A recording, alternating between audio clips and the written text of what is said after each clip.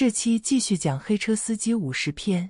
从董子墨和龙文翰的交锋来看，智商余额不足的龙文翰很明显的落了下风。其实也和他做的这件事有关系，太下作。以他的身份地位，招招手，不知道多少女孩子会上钩。但是这次的确是脑袋被门挤了。如果这是龙文翰的家里人知道，那么还有可能挽回的余地。比如说，这是告诉龙佑轩。问题还是那句话，这么下作的事，龙文翰敢开这个口吗？董哥，你算定了这小子不敢和家里人说吧？莫小鱼笑道：“他说与不说都无所谓，这件事他没那么容易脱身。这小子实在是太坏了。”董子墨恨恨地说道。莫小鱼心里想：龙文翰是坏，但是你董子墨就是真的为那个女孩讨回公道吗？如果真的如此，就不应该拿那个女孩的名誉来做你做交易的筹码。当然了，这话只能是自己想想。自己对龙文翰没什么好印象，死了活了都和自己无关，尤其是关系到罗家。现在龙文翰这么做，还真是应了罗家的猜测，说不定哪天就会有很多龙家的子孙找上门呢。是啊，是该收拾一下他了。莫小鱼笑道，不再提这事。三人进了店里。蒙秋娜忙着倒茶，三人上了二楼，喝着茶，话题回到了画廊上来。小杰，我的画你怎么卖的？几块钱一幅。我们这是画廊，是艺术，可不是卖白菜。我们不走量。莫小鱼忍不住问道：“哎，你不说我也会汇报的。二位老板都在呢，我刚好一次性汇报完了。稍等，我去拿账本。”姬胜杰这家伙还算是稳当。毕竟也是开过店的，这一套流程还可以。片刻之后，姬胜杰拿着账本上了楼，故作恭敬地将账本递向了莫小鱼。莫小鱼接过来打开一看，自己也有些惊讶了。鱼哥，这些买家我都做了详细的登记，包括哪里来的，谁介绍来的，这上面登记的都很清楚。这一大半都是董哥介绍来的。姬胜杰实话实说道。董哥，这些画不是你强迫人家买的吧？莫小鱼看向董子墨，开玩笑道：“废话，我能强迫那么多人买吗？再说了，你看看这些买画的人都是哪里的？基本都是北京来的。我虽然在北京上学不假，但是我父亲是在唐州做官，人家就算是看我的面子买画，能图我什么？我明白你的意思，这和老爷子没半毛钱关系。”所以你尽管放心，董子墨说道。不管怎么说，你的功劳最大呀。莫小鱼合起账本，递给了姬胜杰，对董子墨说道：“别，还是你画的好。你要是画的不着调，就算是我求人家来买一回，能有第二回吗？你没看小杰的统计，很多都是来买了第二次呢，而且还有不少人是七九八的人过来的，这些人鼻子灵着呢。”他们说是因为今年的画展比赛，你是不是获奖了？董子墨问道。莫小鱼点点头说道：“可能吧。”这对了，现在画虽然卖的不是很贵，但是质量在那里摆着呢。你现在缺少的是炒作，缺少名气，这是我来想办法。你来画画，这回在唐州待几天吧？董子墨问道。我也没说去哪啊，我还得上学呢，我能去哪？莫小鱼奇怪问道：“你拉倒吧，整天不是这里就是那里的，画画才是你的主业。这屋子里空了，你得赶紧填满，不然的话，我们这叫什么画廊，对吧？”董子墨不满地说道：“好好，我怎么发现自己上了套呢？就像是那拉磨的小毛驴，上了套就得一直往前拉。你们俩倒是清闲了。”莫小鱼说道：“哎，没办法。”我们就是吃这碗饭的，而你呢，是吃那碗饭的。姬胜杰指了指旁边的画室，一切都为莫小鱼准备好了。哎，完了！你们这群万恶的资本家，看来我是要被你们剥削死了。莫小鱼哀叹道。董子墨和姬胜杰正在憧憬着莫小鱼将来成了伟大的画家后，一幅画能卖多少钱。莫小鱼的手机响了。拿出来一看，是杜曼雪打来的。不好意思，接个电话。莫小鱼笑笑走进了玻璃房画室。你猜是谁打来的电话？董子墨问道。猜不到，这小子女人太多，但肯定是个女人。你看他那淫荡的表情就知道。姬圣杰不屑地说道。别说他了，你的怎么样了？董子墨指了指楼下。哎，别提了，人家根本就没这个心思，我看是没戏。姬圣杰苦笑道。自从把这蒙秋娜招进来后，姬圣杰就开始了对人家的追求。但是蒙秋娜是来干啥的？怎么会和他搞在一起？所以虽然姬圣杰是经理，可是蒙秋娜并没有屈服，一直都是虚与委蛇，让姬圣杰那个郁闷。但是无可奈何，不行，生米煮成熟饭得了。董子墨坏笑着出主意说道：“嘿，董哥，你这是害我的吧？再说了。”别说是生米煮成熟饭了，现在这社会，你就是煮烂了都不一定能成，成了还有离婚的呢，没用。姬圣杰摆摆手，否定了董子墨这个骚主意。你得学学里面那家伙，风流倜傥，也没见他和谁结婚吧？董子墨问道。他是耍流氓。再说了，我也没那本事。你看看他那样，估计这画画的事又得拖着了。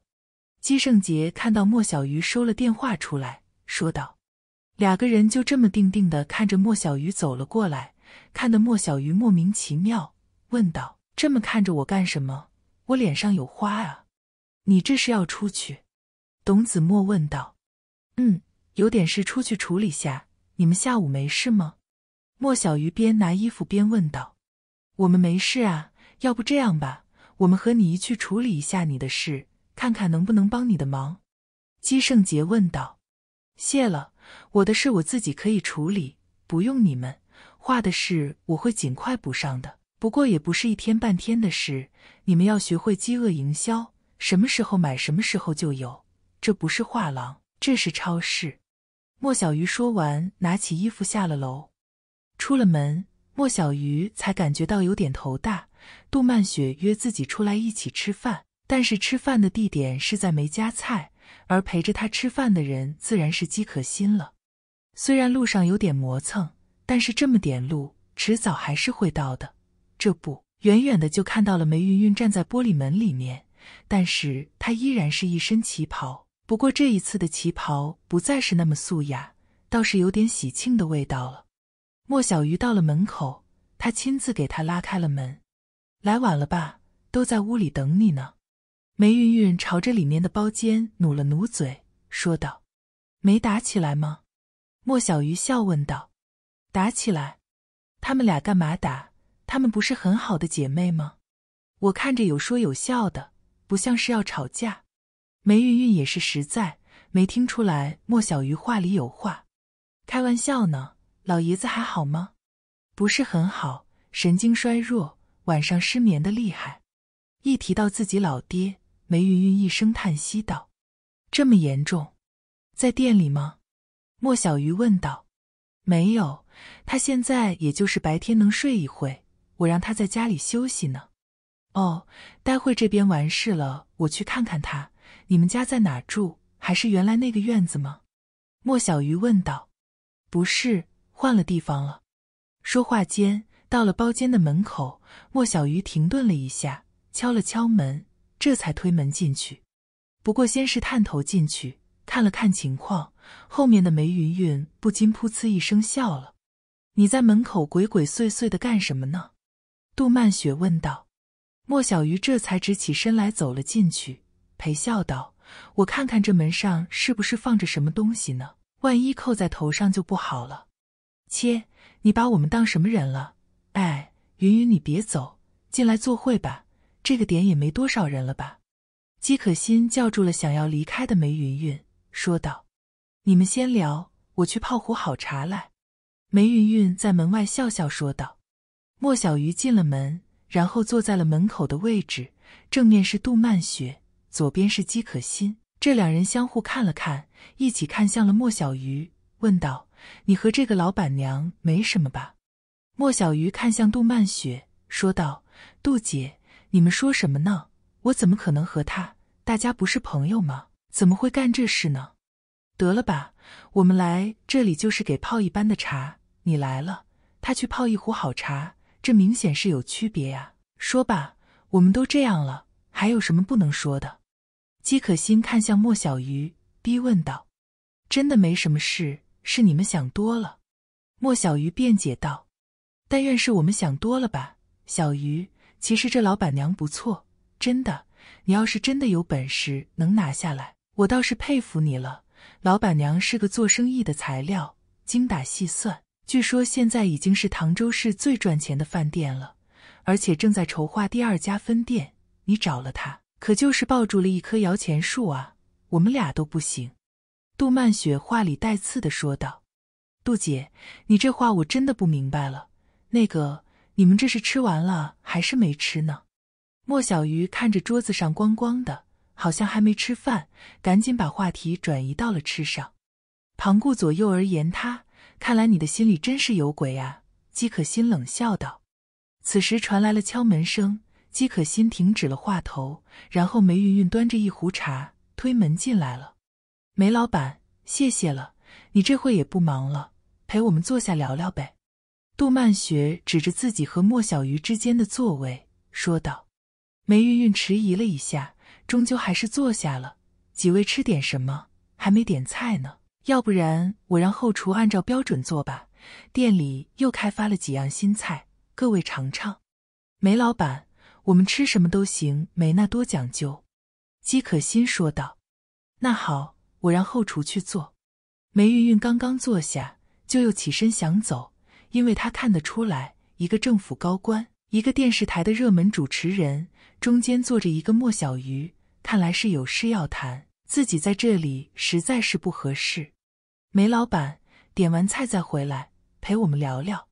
杜曼雪坚决不肯就此放过梅云云。莫小鱼心里一阵凄苦，这两人这是怎么了？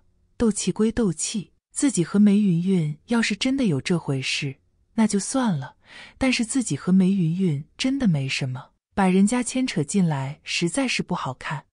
梅云云出去后，莫小鱼站起身，挨个给姬可心和杜曼雪倒了茶，这才说道：“两位都是我的大姐，又是我的红颜知己，咱有事说事，别这么抻着好吧？再说了，你们要是觉得不合适，我们可以找个大点的床，躺在床上，坦诚相对，有一说一，谁也别藏着掖着，这样好不好？好啊，你过来。”我问问你，杜曼雪拿出手机，朝着莫小鱼招了招手，说道：“莫小鱼不明所以，也不知道发生了什么事，但是看向姬可心时，发现这个女人笑得阴恻恻的，不由得心里一阵嘀咕。但是毫无疑问，没什么好事。过来啊！”杜曼雪催促道。莫小鱼无奈，只能是慢慢挪了过去，刚想坐下。但是被杜曼雪一下子摁住了肩膀，莫小鱼没防备，扑通一声跪在了地上。莫小鱼刚想起来，但是被杜曼雪摁住了肩膀，同时拿出了手机。莫小鱼看到的手机画面时，差点晕过去，都忘了挣扎着站起来了。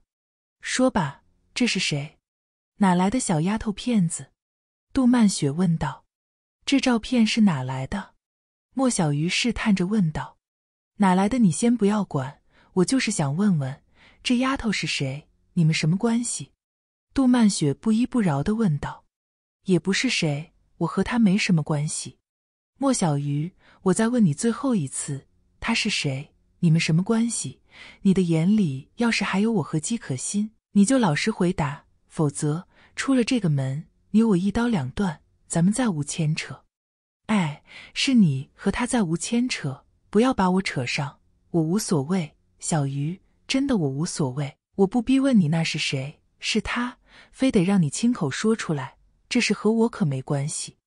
姬可心临阵倒戈，气得杜曼雪脸色绯红，恨不得先放莫小鱼一马，去和姬可心算账。自己和顾依依的合影什么时候到了杜曼雪的手里？而且自己和顾依依什么时候合过影都不记得了，这事来得太突然。莫小鱼想编个理由都来不及，要不要给你几分钟时间，好好给我编一个故事？杜曼雪冷笑道：“要不我不是那个意思。其实这事你是知道的，他他不就是那个谁吗？莫小鱼想说，但是没想好怎么说。另外也不知道杜曼雪知道多少，所以一时间有点拿不定主意了。谁啊？说啊！杜曼雪啪的一声把手机拍在了桌子上，也不知道坏了没有。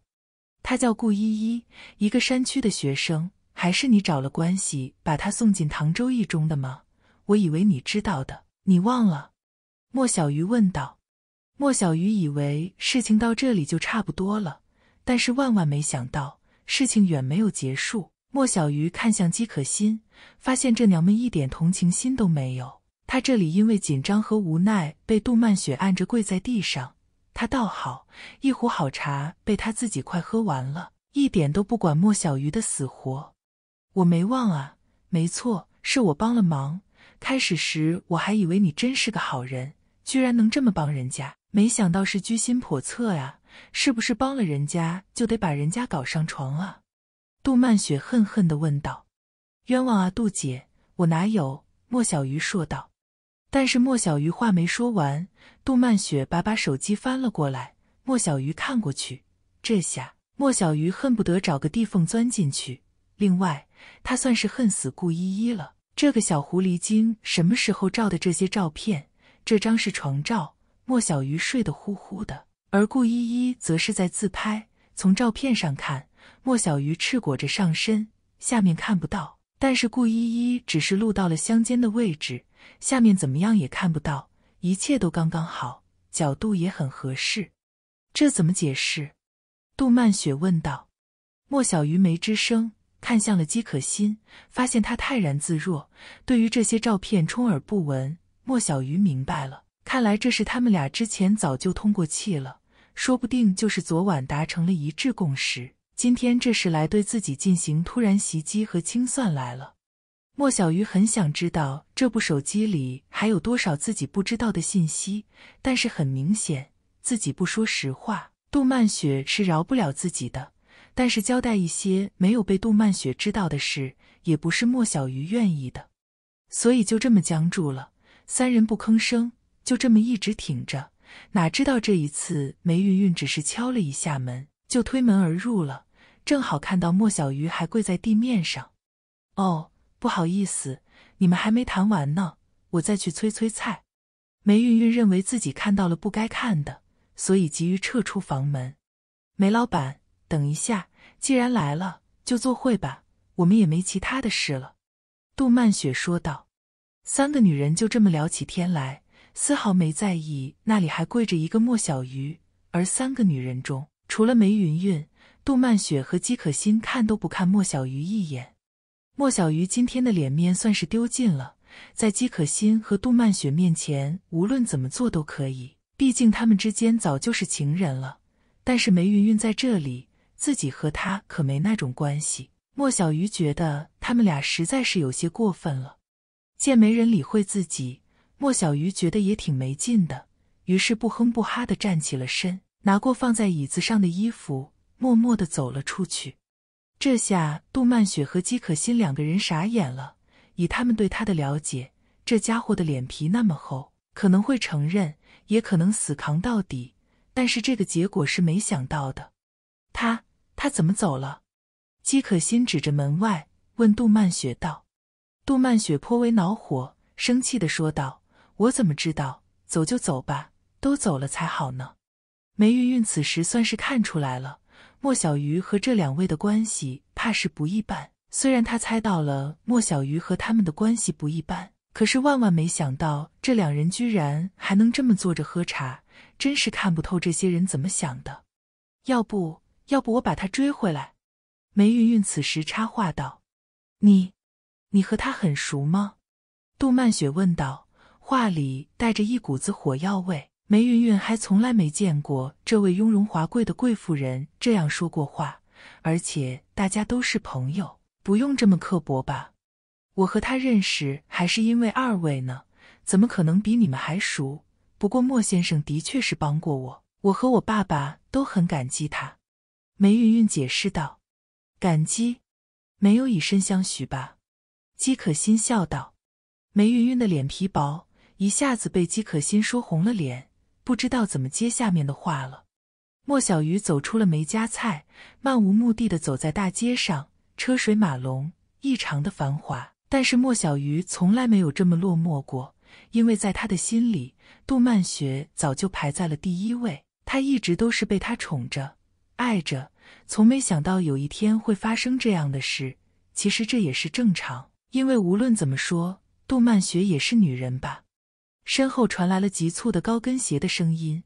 莫小鱼漫不经心的回头看去，发现是梅云云追了出来。说实话，他多么想看追自己的是杜曼雪，怎么走这么快？梅云云气喘吁吁的问道。因为才裁剪得当，再加上梅云云的玲珑身材，凹凸有致，让莫小鱼看直了眼。找我有事，还是来看我笑话？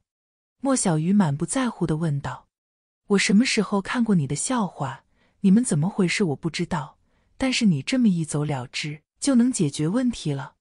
梅云云皱眉说道：“你是来劝我回去认错道歉吗？”莫小鱼赌气的问道：“我没那个义务。你不是说要我看我父亲吗？走吧，前面不远了。”梅云云说道：“对对，差点忘了。”莫小鱼和梅云云并肩走在大街上，莫小鱼不时的看一眼梅云云，想要说点什么。但是不知道从哪里说起。你要是想解释一下呢，我可以做一个称职的听众。如果你不想解释，也没必要在心里有个结。我没那么大的好奇心。再说了，无论怎么样，让自己的男人在那样的场合跪着，都不是一个智慧的女人该做的事。你说呢？梅云云挑衅的看向莫小鱼。我是不小心的。莫小鱼想解释一下。但是发现这个问题解释不清楚，越解释越麻烦。不过我对你倒是很佩服啊！原来时我以为你仅仅是和杜曼雪有点关系，想不到连唐州电视台的女主播你都能上手。看来我真是小看你了。梅云云揶揄道：“行了，你就不要讽刺我了。”莫小鱼苦笑道。梅云云笑笑，不再说这事了。梅云云在离店不远的地方租了一套房子。就连没文化的手机号码都换了，这才稍微安静了些。要不然他那个师叔就是阴魂不散，每日里不停的打电话骚扰梅文化。莫小鱼和梅云云进门时，梅文化正在阳台上晒太阳，本来是昏昏欲睡，听到有人进门，回头一看，发现是莫小鱼来了，顿时来了精神，想要站起来，但是被莫小鱼跑过去按下了。老爷子。身体怎么样？莫小鱼问道。还行，精神不如以前了，老了。没文化说道。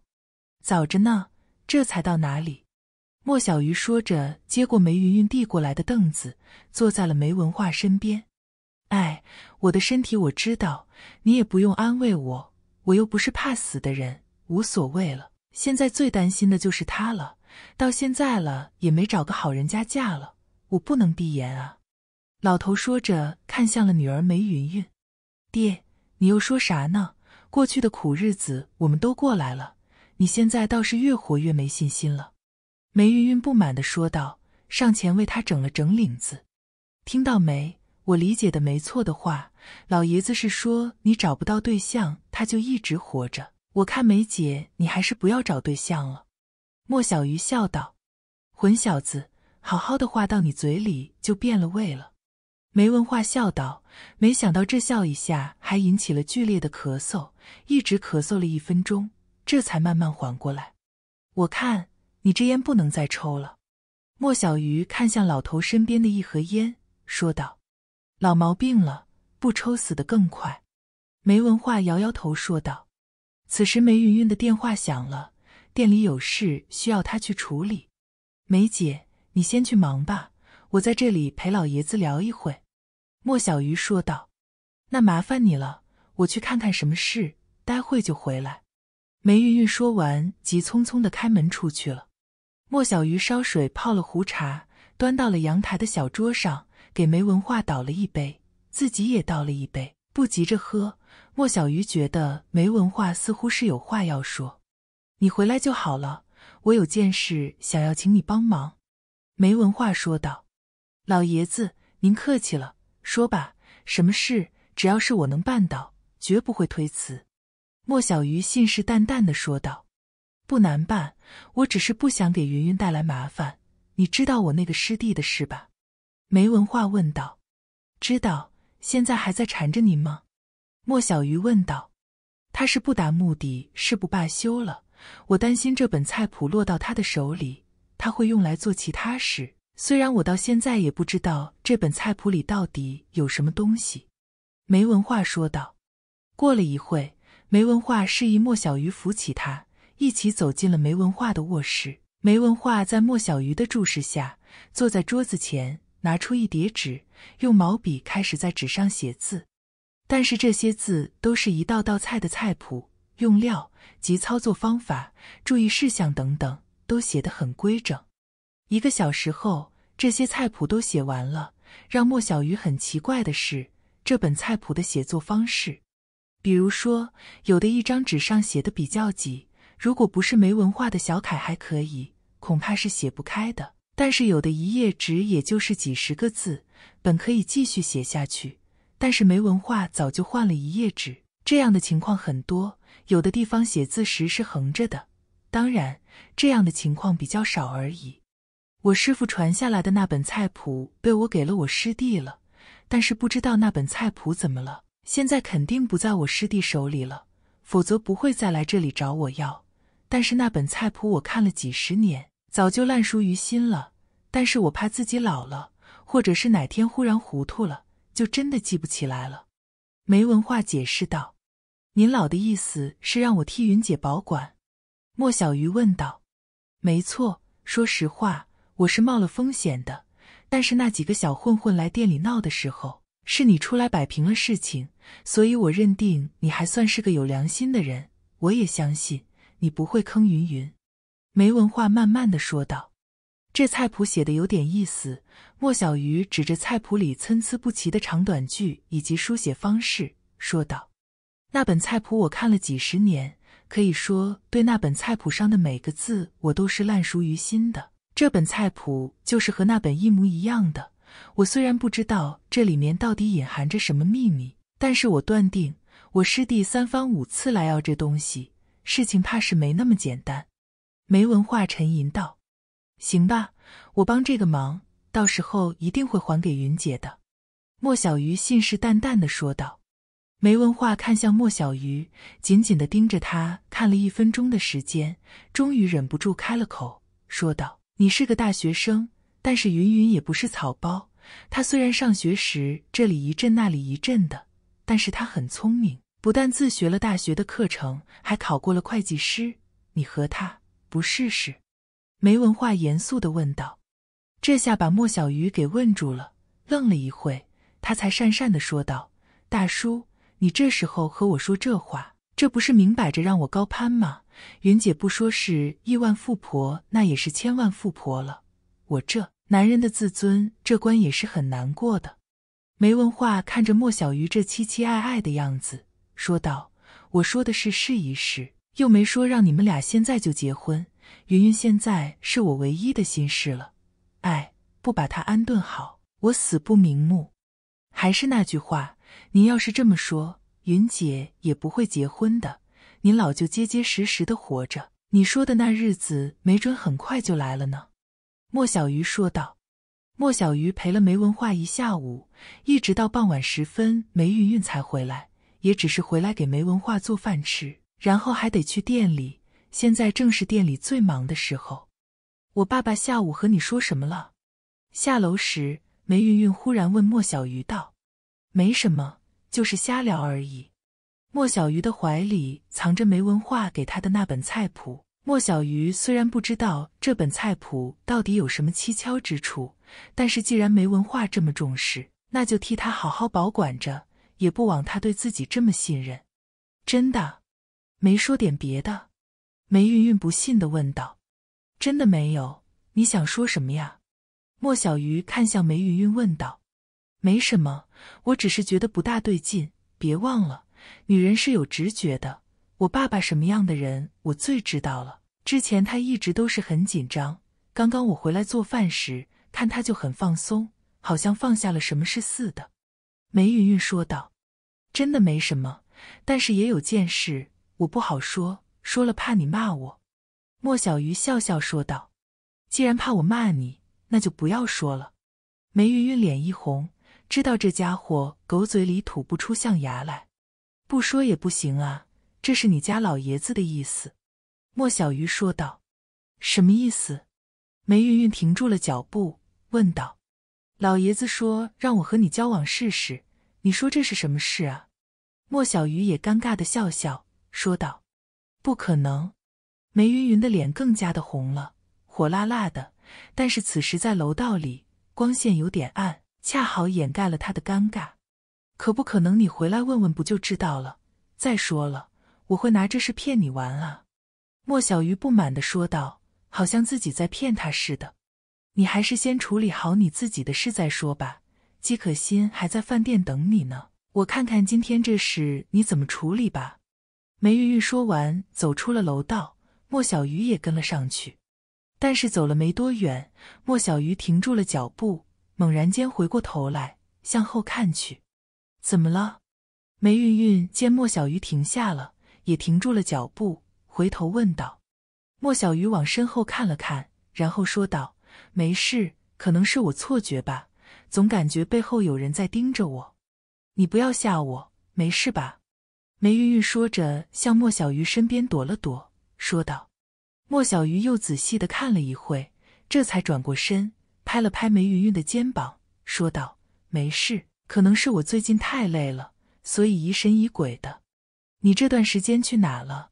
人不露面，电话也没有。’梅云云小声问道：‘没事，就是出去了几天而已。’我说：‘我们还是按照老爷子的意思交往试试。你这不是挺关心我的吗？’莫小鱼说道。”试试，哼！你先处理了眼前的事再说吧，奴等着你呢。这时已经到了店门口，姬可心居然在店门口里面坐着呢，没看到杜曼雪。莫小鱼的心里稍微放松一些，今天算是把杜曼雪得罪惨了。不过从姬可心没走来看，这事似乎还有回旋的余地。莫小鱼推门进去，看了眼姬可心，说道：“等我。”哎，我算是看透了。这男人啊，做了错事就得死活扛着。你看看你，明明是你错了，你还死活扛着，到了最后反倒是成了他的不是了。这不，他开会去了，让我在这里等你回来。你说这是有地方说理去吗？姬可心摇头晃脑，一副恨铁不成钢的样子。莫小鱼一听这话，心里就有底了，毫不理会姬可心的风凉话，径直去了包间里。过了一会，姬可心端着一壶茶进来了，还关上了门，将茶壶推向了莫小鱼。不喝了，喝了一下午茶了，撑死了。莫小鱼说道：“你说说你，做坏事就做坏事，怎么就那么不小心呢？还让人给抓住。昨晚要不是我来摁着，昨晚就找你算账了。”姬可心开始数落莫小鱼道：“什么意思？对了。”那些照片他哪来的？莫小鱼很奇怪。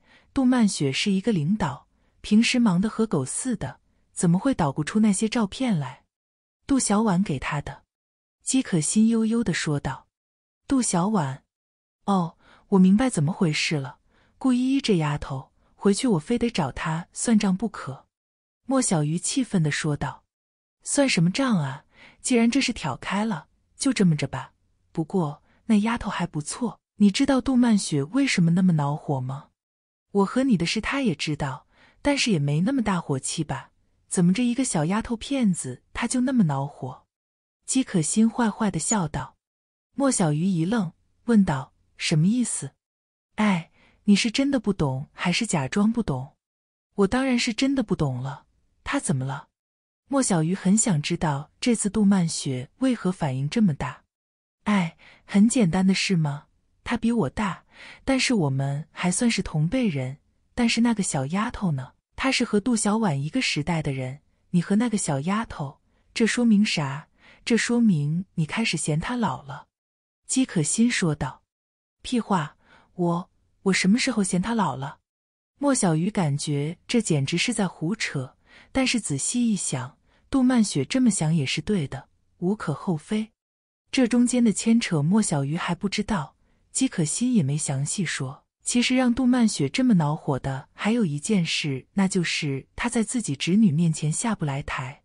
昨天姬可心被莫小鱼送去了杜曼雪那里，下午时杜曼雪下了班，刚刚回到家，还在和姬可心聊天。这时候杜小婉来了，见到杜曼雪后，神神秘秘的想要和她说话。杜曼雪和这个侄女因为救她爸爸出来这事打得火热起来。杜曼雪平时也很疼这个侄女，两人的交往日多，渐渐变成了闺蜜。姑姑，你答应我，看到了接下来的事情不要生气，有什么事心平气和的处理，好吗？杜小婉把杜曼雪叫到了二楼的卧室，没说事前，先把规矩讲好了。小丫头，什么事啊？你是不是在外面闯祸了？没事，告诉姑姑，姑姑帮你处理。杜曼雪笑笑说道：“不是我，是是你的那个男朋友。”杜小婉凄凄爱爱的说道：“我的男朋友？你说的是莫小鱼？”杜曼雪心里一沉，问道：“开始时还以为莫小鱼把杜小婉怎么了呢？”杜小婉点点头，把手机递给了杜曼雪，说道：“姑姑，你自己看吧。”杜曼雪狐疑的接过来手机，发现杜小婉早就调出了照片。杜曼雪的头一下子就大了，一张一张的翻看，直到最后一张。杜曼雪那个气呀！这哪来的？这个女孩是我的同学，和我关系还很好呢。今天中午的时候，我们在操场玩的时候，她向我炫耀她的男朋友是画家来着。上厕所时，我替她拿着手机，偷偷发到我自己手机上的。姑姑，你们分手了？杜小婉问道。其实，虽然他父亲的事他没参与，但他又不是小孩子了。大人没事，老是在商量怎么救他父亲，所以他知道莫小鱼在这件事中起了很大的作用。其实他对莫小鱼在心里是感激的，也很有好感。但是这一次，杜曼雪把照片发到自己手机上，本想立刻去找莫小鱼的。但是又一想，这事或许姬可心知道，于是暂时按下怒火，把杜小婉送走后，和姬可心商量怎么办。莫小鱼算是知道了事情的前因后果，问题还是出在顾依依这丫头身上。哎，这事也难怪，少男少女有个小秘密，总想着和谁分享一下。顾依依在这里，也就是和杜小婉的关系还不错，所以这件事也就理所当然了。你说你也是，这样的事你做了就做了，还留下证据，所以你不死谁死？姬可心白了一眼莫小鱼，说道：“我说过了，那照片的事我不知道，都是那小丫头偷偷拍的。”莫小鱼狡辩道：“得得得，你还在狡辩是吧？那好，我问你，杜曼雪说参加了你的画廊开业。”她说：“她看到几张人体画，看上去和这个小姑娘是一个人，这没错吧？”莫小鱼，你真够可以的，不但上了人家，还让人家脱光了供你画画，你这价值利用的挺到位啊！”姬可心讽刺的说道。这下莫小鱼无话可说了。的确是这样，当时杜曼雪可能没见过顾依依，所以不知道那是谁。他记得当时杜曼雪还想问这女孩是谁来着，让自己给搪塞过去了。没想到在这里出了漏子。姬可心看到莫小鱼吃瘪的样子，心想：让你嘴硬，终于没话说了吧？于是说道：“所以回去认个错，把事讲清楚，否则你完蛋了。你呢？你去哪？”莫小鱼猛然间想起，姬可心的别墅里被自己糟蹋的一塌糊涂。要是姬可心回去看到那个场面，还不得疯了？我去啊，我能去啊，回自己家呗。再说了，今晚你不知道要遭什么罪呢，我就不去了，看着心疼。姬可心阴阳怪气的说道：“不行，你还是先不要回去了。你刚刚回来，穆英泽那里到底是什么情况还不明朗，我再找人摸摸底再说。你一个人在那里住，我不放心。”莫小鱼说道。我一个人，姬圣杰不在那里住。姬可心问道：“他现在在追我们画廊的一个女孩，没日没夜的，不知道啥时候回去呢，过几天再回去吧。莫小鱼极力劝说姬可心不要回去，连带着的恐吓了。姬可心看莫小鱼说的真诚，也没多心，心想也是，虽然那个混蛋台长调离了，但是穆英泽那个混蛋还在呢。自己要是一个人落了单，说不定会出什么事呢。这个混蛋一直都是这样，分不清轻重缓急。姬可心咒骂了一句姬圣杰，决定和莫小鱼一起回杜曼雪的住处。回去是回去，但是怎么和杜曼雪说好这事，这还真不是一件容易的事。要怎么解释才能让杜曼雪不计前嫌呢？我们走了，明天再来吃饭。出门时，莫小鱼向梅云云打招呼道：“梅云云笑笑，和姬可心打了个招呼，但是没理会莫小鱼，搞得莫小鱼也很尴尬。”看着莫小鱼和姬可心一起消失在夜幕里，梅云云心里一阵落寞。这个王八蛋，刚刚还说和我怎么着呢，转脸带着别人的女人回家上床了。男人果然是没有好东西。莫小鱼和姬可心回到家时，杜曼雪早就回来了。见莫小鱼进来，生气的转身上楼了。姬可心推了一把莫小鱼，示意他赶紧追上去，而他则是坐在了沙发里喝茶看电视去了。再也不管莫小鱼的死活了。细细想来，在莫小鱼经历过的这些女人中，除了罗家，她还真的没有哄过谁，都是这些女人哄着她，宠着她。但是现在居然要她去哄杜曼雪，莫小鱼心里觉得那个别扭啊。但是事到如今，前面就是有地雷，也得往前趟啊。莫小鱼看到杜曼雪的房间关着门，还以为反锁了呢，但是推了一下。发现门并没有反锁，一推就开了，心里暗暗窃喜，这是还有门，否则直接反锁门不让进来就是了。可是屋里没开灯，乌漆麻黑的，什么都看不见。此时莫小鱼的夜视能力又完蛋了，没任何效果，只能是呆呆的在门口站着，一直到眼睛适应了黑暗，这才关上门，走到了床前。他隐约看到杜曼雪裹着被子。睡在床里面，甚至还给他留出了位置。莫小鱼坐在床边，伸手搭在杜曼雪身上，但是被杜曼雪拧了一下身体，甩掉了身上的手。莫小鱼颇为尴尬，现在唯一对他有利的就是环境了，这里只有他们俩，说多不要脸的话都没人知道，也不怕人笑话。而且这屋里一片漆黑，人在黑暗中可以不要脸，羞耻感会降低很多。所以男女办事时一般也是关掉灯，这样会更加的暧昧，而不用担心尴尬。对不起，这事是我不对，我不该瞒着你的。但是这事说起来不是一句话两句话就能说明白的。莫小鱼说道：“那就说三句四句五句，总能说清楚吧？”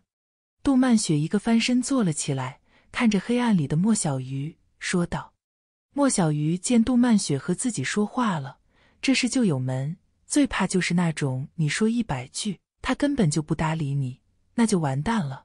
人与人之间是需要交流的，一个人说那不叫交流，那叫倾诉。你真想听？莫小鱼问道。是我倒是想听听你能说出什么话来。杜曼雪伸手按开了床头灯，莫小鱼一下子闭上了眼，光线的突然发光让他有点措手不及。睁开眼看着我，是不是觉得没脸见我？我对你那么好，你居然背着我干出这种事来。姬可心的事我没纠缠吧？你们怎么鬼混？我都是睁一眼闭一眼，而你呢，变本加厉了是吧？莫小鱼，换位思考一下，要是我这样，你还会出现在这里吗？杜曼雪声音低沉，但是每一句都敲打着莫小鱼的心房，让他倍感压力。莫小鱼睁眼看着杜曼雪，说道：“不管我接下来说的话，你信与不信，我说的都是真的。你说吧，我不是三岁小孩了，明辨是非的能力还是有的。不过你不要想着骗我。”杜曼雪说道。莫小鱼点点头，把怎么认识顾可可，然后怎么去了苗疆，然后接下来和顾氏姐妹发生的事都一一讲给了他听。开始时，杜曼雪还认真在听。但是到了后来，杜曼雪打了个哈欠，很明显，他认为莫小鱼是在胡扯，前因后果就是这样了。莫小鱼说完后，看了一眼缩在被窝里的杜曼雪，说道：“嗯，不错，故事编得很精彩。莫小鱼，你不去做编剧都可惜了。你以为我是三岁孩子吗？给我滚出去！我不想再看见你。”杜曼雪说道。“杜姐，我要怎么样你才能信我？”莫小鱼也急了，这可是自己真心话，但是被杜曼雪看作是在糊弄他。你不是说你被下蛊了吗？你叫他来也给我吓一吓试试。小丫头骗子就是个骗子，你也是个骗子。”杜曼雪厌恶的说道。“那可不是闹着玩的，好吧？我本来也不想吓唬你，但是你既然不信我，我就展示一点点，让你看看到底我是不是在撒谎。”莫小鱼说道。“好啊，来吧，我看看你能不能说动我。”莫小鱼，如果你有本事说服我，你以后爱咋地就咋地，我都不会再管你；否则，给我滚出去！你我恩断义绝，再无牵扯。杜曼雪觉得自己给了莫小鱼一次机会，但是这个家伙还在骗自己，以后还不知道怎么骗自己呢。我怕你害怕，莫小鱼说道。我害怕？是啊，我真的好怕啊！你把我当小孩玩弄于股掌之间。我才是真的害怕呢，杜曼雪说道。莫小鱼无奈说道：“我虽然被那小丫头要挟，但是她对我还算是不错，教了我不少东西，其中一样就是养那些虫子之类的东西。”杜曼雪还是不信莫小鱼的废话，但是他今天打定了主意，一定要把莫小鱼这个骗子纠正过来，不能任由其继续发展下去，否则将来不知道变成一个什么样的大骗子呢。杜曼雪看着莫小鱼，看看他到底能变出什么花样来。莫小鱼也看着他，但是看他的眼神里似乎只有嘲笑。莫小鱼也恼火了：“我怎么说你都不信，这可不怪我。”于是向他伸出了手。杜曼雪冷眼旁观，根本不理会他。但是就在此时，杜曼雪真真切切的看到一条金色的小蛇从他的袖口爬了出来，一直爬到了他的手指上。在各个手指缝里缠绕着，悠然自得。开始时，杜曼雪以为这是幻觉，不由得坐直了身体，然后使劲擦了擦自己的眼睛。当他确定那真的是一条小蛇时，这才放声惨叫起来。姬可心正在看电视，这么久了，上面没啥动静，还以为莫小鱼把杜曼雪搞定了呢。但是听这动静，也不像是干那啥事时该发出的声音啊。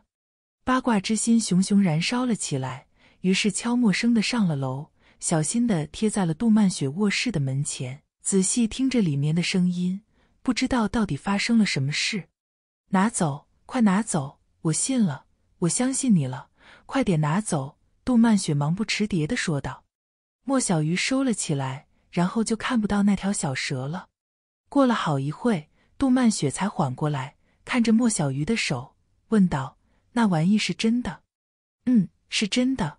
我这次出国救过我的命，那个小姑娘叫顾依依，就是她养的这些东西。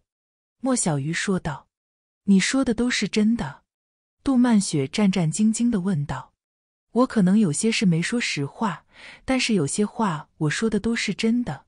就是我喜欢你，你在我心里永远都是最美的，永远都不老。”莫小鱼上前。伸手想要去拉杜曼雪，哪知道杜曼雪向后缩去，坚决不肯让莫小鱼再碰她。你你别碰我，我害怕。杜曼雪说道。没了，他走了，只有我需要他的时候，他才回来。莫小鱼拍了拍自己的身上，说道：“他他去哪了？”杜曼雪很害怕的问道：“可能就在这里屋里吧，我也不知道。但是现在不在我身上了。”你肯原谅我了吗？莫小鱼问道。不行，我不信。你快点把它丢出去。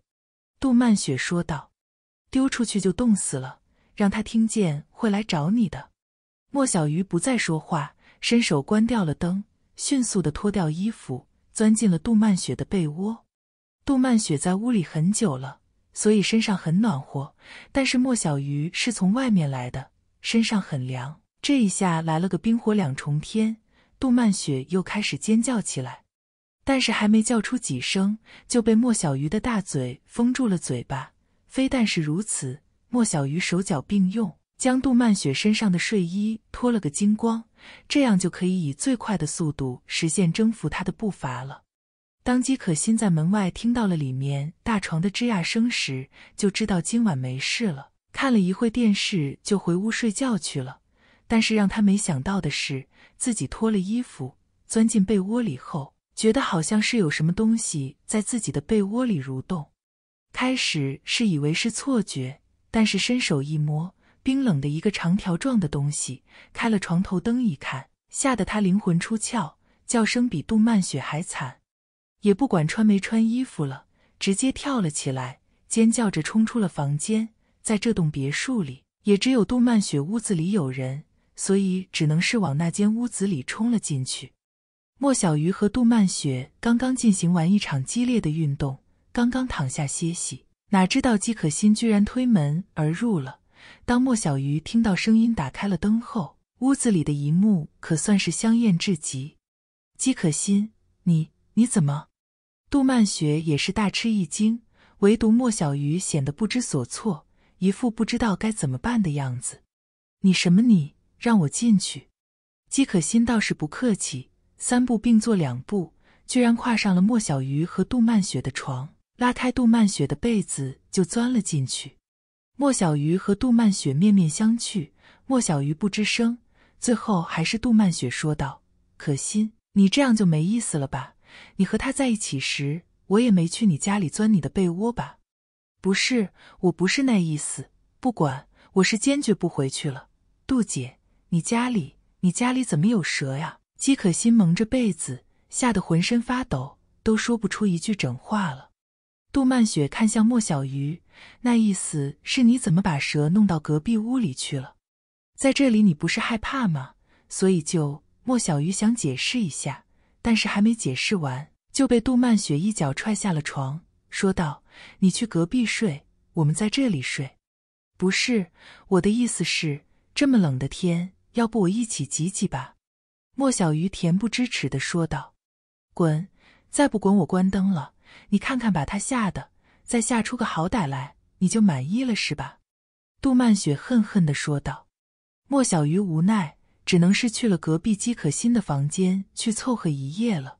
不过钻进被窝里后，莫小鱼果然是摸到了那条小蛇。哎，好心办了坏事了，本来是想着大被童年呢。没想到被逐出来的是自己，你没事吧？莫小鱼走了之后，杜曼雪摸着姬可心皮肤问道：“没，没事。蛇？你家里有蛇？我明天一早就走，不在这里住了，太吓人了。”姬可心依然是哆嗦着说道：“那不是我家的蛇，我家里没蛇，那是莫小鱼带来的。这个混蛋刚刚吓了我一大跳，怎么会跑到你床上去了？”杜曼雪说道：“十什么？他带来的？这个混蛋拿那玩意干啥？从哪拿来的？”姬可心的愤怒可想而知，不由得质问起杜曼雪来。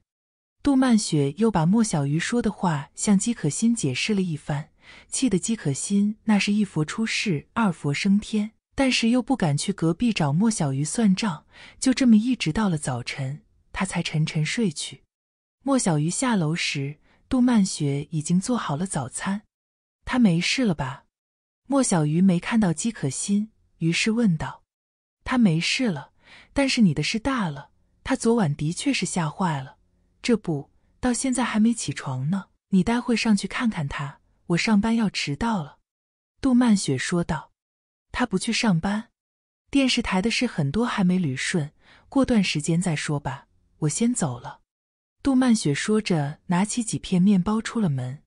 莫小鱼凑合着吃完早餐，姬可心还没醒来，于是上楼去看了看他。哪知道姬可心昏昏沉沉不说，高烧的厉害，看来是昨晚被吓坏了。莫小鱼无奈，只能是先把姬可心送去医院再说了。到了医院，医生说要住院观察，无奈莫小鱼只能去为姬可心办理了住院手续。哪知道在办理住院手续的大厅里，莫小鱼看到了来检查身体的杨艳妮。杨艳妮刻意没有穿警服，还戴着墨镜，但是莫小鱼还是一眼就认出了她，于是走到了她的身边，小声说道：“杨局长这么低调啊，来这里办理公务吗？”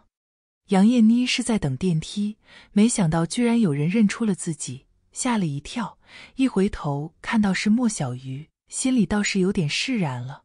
“你怎么在这里？”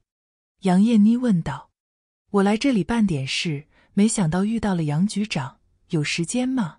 找个地方坐坐。莫小鱼问道。可以，我先去做检查，待会我联系你。杨艳妮说道。杨艳妮和莫小鱼一起进了电梯。医院里的电梯总是人满为患，好在莫小鱼和杨艳妮都在最面前。但是进了电梯之后，这就意味着在最里面，莫小鱼和杨艳妮挤在了一起。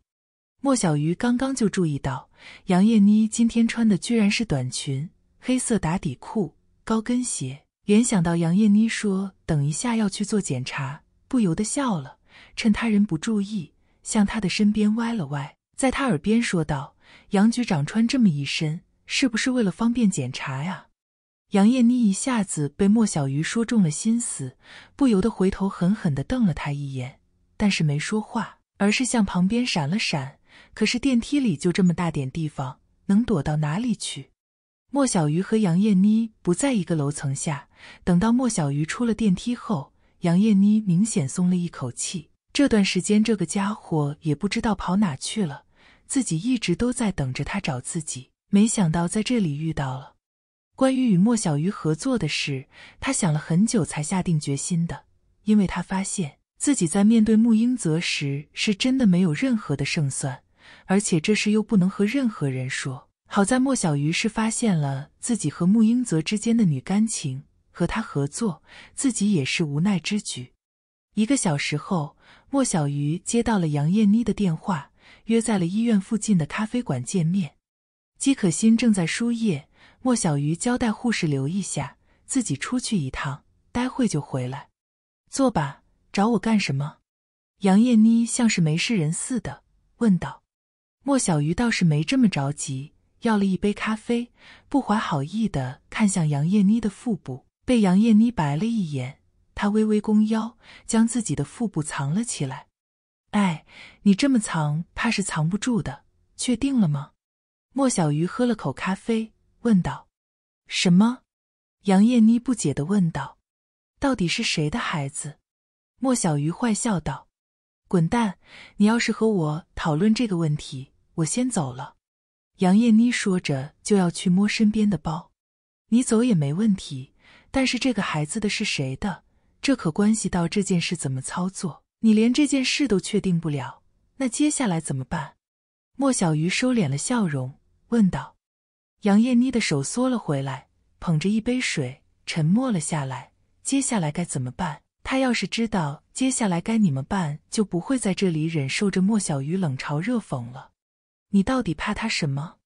或者说他掌握了你什么东西，以至于让你心甘情愿的受他折磨？我知道人是社会动物，总有些东西是自己害怕的。但是你是国家工作人员，他只不过是一个商人而已。说句不好听的话，商人的财富在这个国度里没有任何意义。说拿走就可以拿走，虽然你不至于有那么大的权利，但是也足以自保吧。莫小鱼轻声问道：“你不懂，要是有你说的这么简单，我也不会落到这个地步。穆家的强大不是你看到的表面这么简单。”杨艳妮说道：“我知道你老公肯听穆英泽的话去绑架我，甚至要杀了我，这足以说明穆家父子天不怕地不怕的胆子了。但是我只不过是个小角色，你不一样，你是公安局的局长，难道连自保的本事都没有？”莫小鱼问道：“局长。”杨艳妮冷笑一下，继续说道：“我这个局长不过是别人给的，想什么时候拿走就什么时候拿走，这都是一句话的事。”杨艳妮说道：“你是说龙顶天吗？”莫小鱼问道：“据我所知，龙顶天是穆家的后台，这不假，但是绝不是唯一的后台，在这唐州市。”还有多少人是穆家暗地里培植的势力，我也不知道。而且这只是在唐州市。穆家的触角也在向上爬，结交了不少更高层次的达官贵人，势力之大难以想象。要不然，唐州市那么多上访告穆家在拆迁中出人命的事，有哪个人赢了？杨艳妮像是在和莫小鱼说话，又像是在自言自语的说道：“人过留名，雁过留声。穆家既然做了这么多事，肯定不是一点痕迹都没有。我想知道。”这些事都是穆英泽一个人在操作吗？还是他儿子在负责？莫小鱼问道。不，穆英泽和他的儿子关系并不是很好。替他操作这些事的是一个女人，叫灵狐兰心，是英泽集团的董事会秘书，是他在帮着穆英泽处理这些事。杨艳妮说到灵狐兰心时，居然脸红了。莫小鱼很敏锐的观察到了这一点。灵狐兰心同时也是穆英泽的情妇，是吧？杨艳妮点点头，继续问道：“那这么说来，你和灵狐兰心应该很熟悉了。你想问什么？”杨艳妮恼怒的看着莫小鱼，她认为莫小鱼这么问是在羞辱她。这些事本来就是难以启齿，这家伙还这么明目张胆的问，那接下来是不是该仔细描述了？我是想说，既然穆英泽那里一时半会打不开缺口，那么不妨从灵狐兰心这里试试。既然你们认识，这事不就好办多了吗？莫小鱼喝了口咖啡，好整以暇的说道。莫小鱼的话让杨艳妮眼前一亮，但是随即就摇头道：“这个不大可能。灵狐兰心这个女人不知道是从哪里来的，对穆家父子是死心塌地，很难撬开缺口。”杨艳妮说道：“对穆家父子死心塌地，这是什么意思？令狐兰心是穆英泽的情妇，你也说了，穆英泽和穆正奇关系不是很好，他怎么会？”莫小鱼旋即想到了一个很可能存在的问题，那就是令狐兰心同时是穆家父子两人的情妇，因为他和他们俩都有关系，而且我也是听说，不一定是真的。可是以穆家父子的无耻来说，这件事很有可能是真的。杨艳妮有点犹豫，要不要将这件事告诉莫小鱼。但是自己和他合作，本就是互不相信。如果自己不拿出点猛料来，他可能对自己还是不信的成分多。什么事？莫小鱼问道。我听我老公说，穆英泽和穆正奇关系不好，很可能是因为他的儿媳妇陈南露。杨艳妮只说这么一句话，就闭口不言了。但是莫小鱼却是一机灵，怎么还和陈南露扯上关系了？现在董子墨可是和陈南露打得火热，所以莫小鱼对陈南露的事很敏感。关陈南露什么事？莫小鱼问道。我也只是听我老公说了那么一句，穆英泽可能和陈南露不干净。杨艳妮看了看周围，小声说道：“我靠。”还有这事，莫小鱼吃了一惊，问道：“很可能是真的。陈南路和穆正奇刚刚结婚时关系还不错，但是到了后来，两口子就不好了。而这一次又闹出来陈南路和一个画家有染的消息，这事就更加复杂了。”杨艳妮说道：“你说的那个画家是我师兄，我也很想知道陈南路和我师兄到底是真的还是被人污蔑了。”莫小鱼问道：“这事我还真不知道，也说不定是你师兄拿了人家的钱才办这样的事吧？”杨艳妮不屑的说道。“那这么说来，这件事还真是不一定呢。”莫小鱼问道。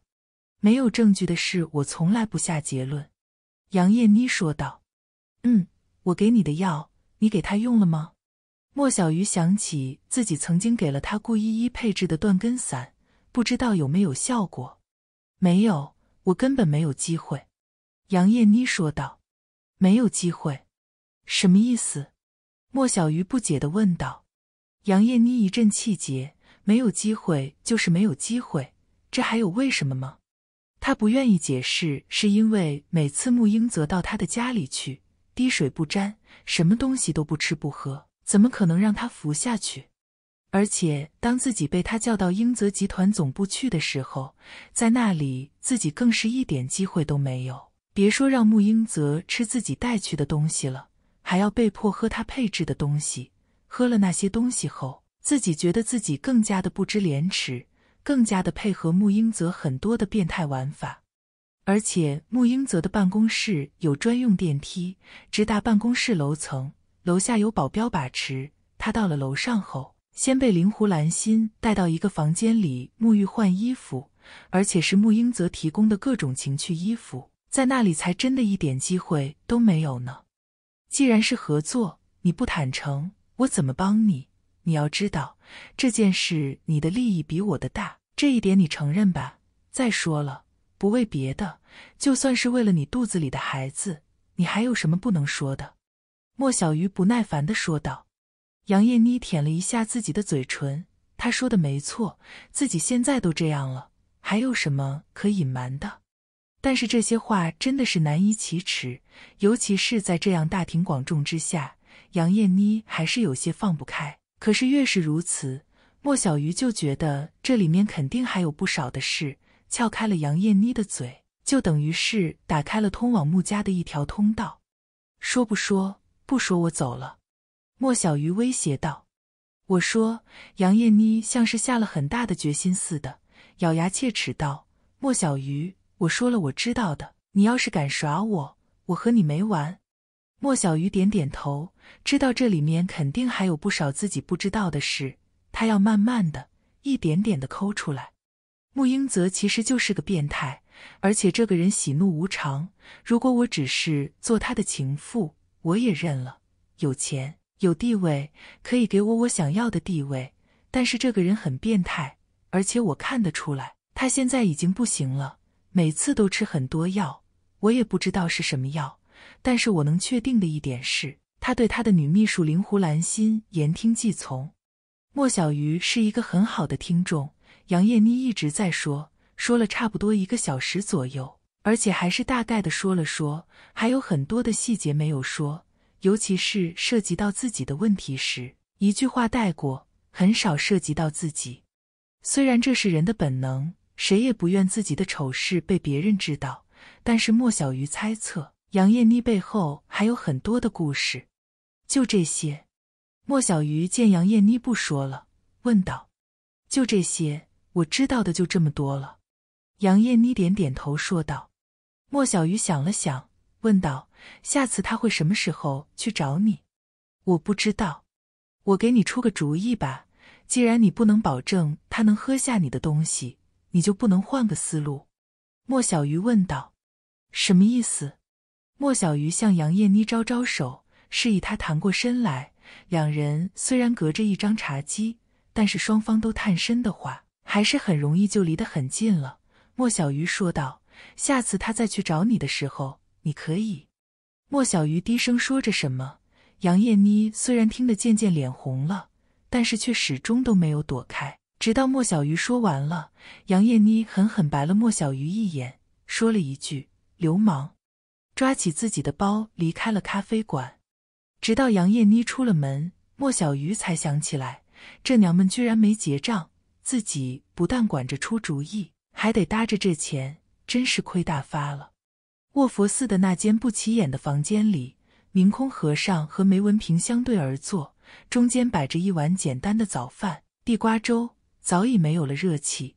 这个地方只有明空来这里，这个丑陋的人基本不会出现在寺院里，所以没人知道寺院里还有这么一个人。梅文平想要下山时，基本都是在后半夜悄悄从后门出去，然后也是在半夜里回来。反正他已经那么难看了，也不怕有人会吓到他。你可想好了，如果这件事做不成，所有的线索就都断了。几十年的的辛苦也就白费了，明空说道。虽然明空这里只是一个安全屋，但是和梅文平接触的多了，也知道了这个已经中国化了的日本人在执行什么任务。可以说，为了这么一个可能不存在的任务，梅文平搭上了自己的一辈子。没法再等了，再等下去，我自己也没耐心了。更何况上面一直在催我今晚下山。可能就不回来了。这些日子多谢了。梅文平弯腰谢谢明空道：“不必要，都是应该做的。你自己一个人行吗？”明空问道。可以，人多了反而不好。我都跟了好多天了，那个叫莫小鱼的人回来了，我担心再不下手，以后就没机会了，必须尽快动手。梅文平咬牙说道：“好吧，既然你决定了，我也没什么好说的了。想好退路，一切就看佛主的安排了。”明空双手合十，算是为梅文平最后祈福了。姬可心终于醒了过来。但是看到的却是一片白色，歪了歪头，才看到坐在床前打盹的莫小鱼，亮着的灯有点刺眼，一时间不知道这是真的还是在梦中。他伸手摸向莫小鱼的手，莫小鱼一激灵，睁开眼看到姬可心醒了，问道：“感觉怎么样？”说完，伸手去摸姬可心的额头，烧总算是退下去了。莫小鱼心里稍微放心了。我这是怎么了？姬可心咬了咬自己的舌头，感觉好像是真的。你发烧了，很厉害，昏迷了一天了，这会才醒过来。我看看，哎呦，你睡了十多个小时了。莫小鱼把手机给姬可心看了看，说道：“我什么都不记得了，只记得在杜姐家里抓到一条蛇。”姬可心喃喃自语道：“你那是做梦了，杜姐家里怎么会有蛇呢？”莫小鱼赶忙岔开了话题，说道：“不对，我记得就是在他的家里，客房里有条蛇，在我的被窝里抓到的，吓死我了。”姬可心并没有随着莫小鱼的思路走，而是坚持说道：“好了好了，你都一天没吃东西了，要不我出去给你买点东西吃吧？你想吃什么？”莫小鱼继续做着转移话题的努力，问道：“随便吧。”能吃就行，看看有没有卖馄饨的。我想吃馄饨。姬可心欠了欠身体，莫小鱼摇了摇床，让他坐起来缓一缓。那好，你等着，我这就去买。莫小鱼说道。没想到的是，出医院门口时遇到了董子墨，这家伙不知道去哪里喝酒了，一身的酒气才到医院来。不用说，肯定是来看陈南路的。你怎么在这里？董子墨惊奇的问道：“我的一个朋友住院了，想吃馄饨，我出去看看有卖的没。”莫小鱼说道：“好，今晚光顾着喝酒了，给我买一碗。”“行，没问题，待会给你送去。”莫小鱼赶紧让他进去了。董子墨一喝酒话就多，这个毛病莫小鱼是知道的。